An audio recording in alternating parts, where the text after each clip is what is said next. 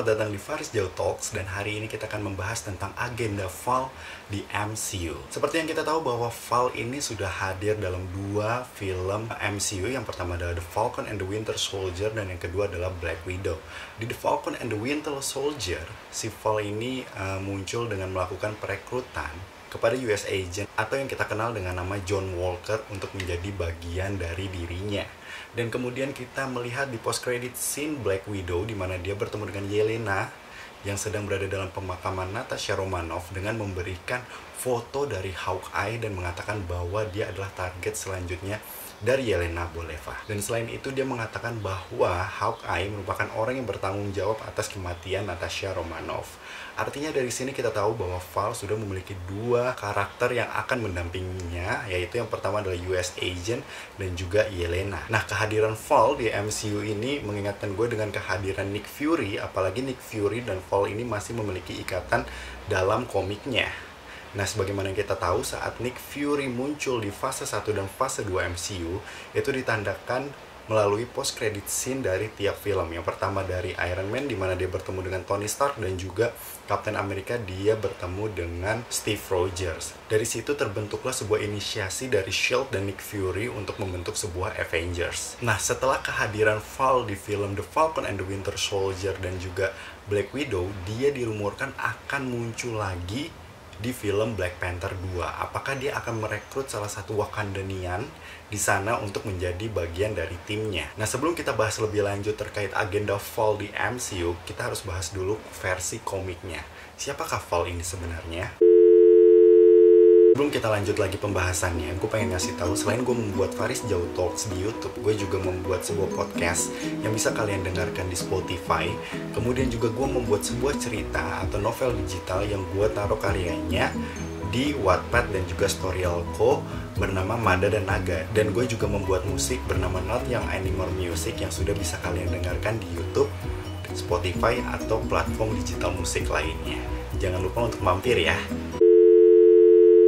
Val memiliki nama Contessa Valentina Allegre de Fonte. Nah, dia merupakan seorang uh, anak yang lahir dari keluarga yang sangat kaya dan dia muncul dalam komik Marvel di tahun 1968. Nah, keluarganya ini memang sudah melatih Val untuk menjadi mata-mata hebat ke depannya. Apalagi keluarganya ini tergabung dalam salah satu organisasi mata-mata bernama Leviathan asal Rusia.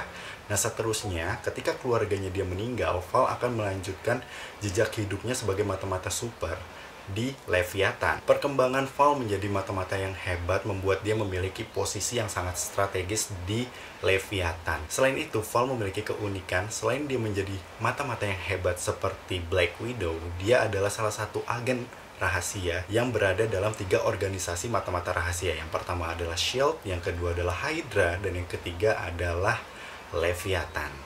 Nah, ketika Val masuk ke dalam Shield dan direkrut oleh Shield, Shield memberikan pelatihan juga kepada Val. Nah, dari situ ia tertarik kepada Nick Fury dan merasa kagum, sedangkan Nick Fury juga merasakan hal yang sama. Bahkan Nick Fury dan Val memiliki hubungan romantis ketika mereka berdua di dalam Shield. Setelah bergabung dengan Shield, Val juga bergabung dengan Hydra dengan code name bernama Madam Hydra. Misinya di Hydra untuk mengambil sebuah box artifak yang sangat magis milik dari Silver Samurai yang bernama Simply the Box. Diyakini Simply the Box dapat memberikan kekuatan kepada penggunanya. Nah, saat dia berhasil mengambil Simply the Box dari Silver Samurai, dia membawanya ke Leviathan Walaupun Val tergabung dalam tiga organisasi, yaitu Leviathan, Shield, dan Hydra, dia tetap setia dengan organisasi pertama yang memberikan dia kehidupan yang bernama Leviathan. Dia pergi membawa Simply the Box ke Leviathan dan lalu memberikan kepada leader dari Leviathan itu sendiri yang bernama Victor, yang ketika dia menggunakan Simply the Box, dia mendapat kekuatan lalu berubah nama menjadi Orion. Nah, selain itu, Val memiliki ketertarikan untuk membuat sebuah pasukan super di Leviathan yang dikomandoi oleh dirinya. Jadi nggak aneh kalau misalnya Val memiliki etikat untuk merekrut orang-orang dengan kemampuan super atau kemampuan di atas rata-rata seperti US Agent dan juga Yelena. Nah, dari komik sebenarnya nggak jauh beda dengan apa yang terjadi di MCU walaupun hintnya masih sangat terlalu sedikit dari kehadiran Fall itu sendiri. Sekarang kita dibuat bertanya-tanya sebenarnya apa sih agenda Fall di MCU. Nah akhirnya dari pertanyaan itu memunculkan bahwa ada dua kemungkinan yang akan terjadi ketika Fall datang ke MCU. Yang pertama adalah membentuk sebuah organisasi bernama Thunderbolts dan yang kedua adalah membuat sebuah squad superhero bernama Dark Avengers. Nah, kita melihat dua kemungkinan ini dulu. Yang pertama kita membahas tentang Dark Avengers.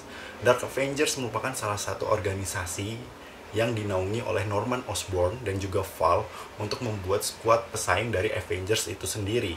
Hanya saja, untuk saat ini, karakter yang eksis di MCU dan bisa bergabung dalam Dark Avengers adalah Val dan juga US Agent saja. Karena Norman Osborn sendiri di MCU itu juga belum terlihat, sedangkan karakter lain yang berada dalam Dark Avengers juga belum ada. Melihat kemungkinan yang kedua, yaitu adalah squad bernama Thunderbolts. Nah, dari sini kita bisa melihat siapa saja karakter yang ada di komik yang tergabung dalam Thunderbolts yang sudah existing di MCU. Yang pertama ada Baron Zemo, yang kedua ada Crossbones, yang ketiga ada Ava atau yang kita kenal dengan Ghost dari Ant-Man and the Wasp, kemudian juga ada Hawkeye, kemudian juga ada Taskmaster yang muncul di Black Widow, kemudian juga ada US Agent, kemudian ada Venom, kemudian ada Yelena Boleva dan juga kemudian ada Winter Soldier. 9 hero yang eksis di MCU saat ini yang bisa tergabung dan memungkinkan untuk kemunculan Thunderbolts di MCU ke depannya dalam naungan Fall. Terkait dengan agenda Fall MCU yang belum sepenuhnya kita tahu karena baru ada dua potongan film dari The Falcon and the Winter Soldier series dan juga Black Widow, sebenarnya banyak pertanyaan tentang kehadiran Fall. Yang pertama, apakah Fall ini berdiri atas nama Hydra atau berdiri atas nama Leviathan?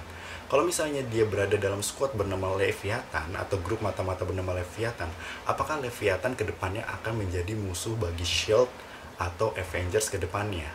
Apabila dia berada dalam Hydra, apakah kemungkinan Fall dan Baron Zemo akan mengaktifkan kembali Hydra di masa depan MCU mendatang? Yang berikutnya adalah dengan banyaknya sejarah dan kisah terkait Fall dan Nick Fury dan dua tokoh ini sudah eksis di MCU apakah Fall dan Nick Fury ini sama-sama mengenal kemungkinan mereka akan saling beradu kekuatan di fase MCU ke depannya. Dan yang terakhir adalah apa yang dilakukan Fall di film Black Panther 2 karena hintnya menunjukkan bahwa Fall ada di lokasi syuting Black Panther 2. Apakah akan ada salah satu Wakandanian yang akan direkrut oleh Fall? Karena ini akan menjadi sebuah pembeda yang biasa dilakukan oleh MCU dari komiknya. Dan siapakah yang akan direkrut?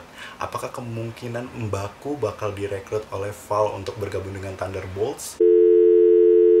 Sebelum kita lanjut lagi pembahasannya, gue pengen ngasih tahu selain gue membuat Faris Jauh Talks di YouTube, gue juga membuat sebuah podcast yang bisa kalian dengarkan di Spotify. Kemudian juga gue membuat sebuah cerita atau novel digital yang gue taruh karyanya di Wattpad dan juga Storyalco bernama Mada dan Naga dan gue juga membuat musik bernama Not Young Anymore Music yang sudah bisa kalian dengarkan di YouTube, Spotify atau platform digital musik lainnya. Jangan lupa untuk mampir ya. So itu dia untuk Faris Jauh Talks hari ini. Sampai jumpa di episode berikutnya. Dadah.